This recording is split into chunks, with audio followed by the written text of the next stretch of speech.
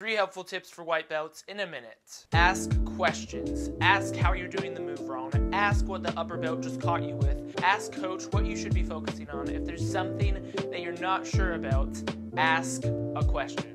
Focus on the smaller improvements that you're making day to day. Instead of worrying about whether you're winning your rounds after technique is done, think about doing just 1% better than you did the day before. For example, lasting 30 seconds longer than you did last time when your roll was when one of the upper belts is trying to sweep you, see how long you can stay on top. If you're mounted, just see how long you can last without getting submitted. Because when you pay attention to the smaller wins that you're making day to day, it's gonna make jujitsu a whole lot more fun to keep showing up to enjoy the process. Jiu-Jitsu as we know it has only been around for about 30 years. Just think of how lucky you are to live in a time where you get to train one of the most effective martial arts that has ever existed. While most other people are out drinking or playing video games, you're actually learning a skill set that's going to stick with you for the rest of your life.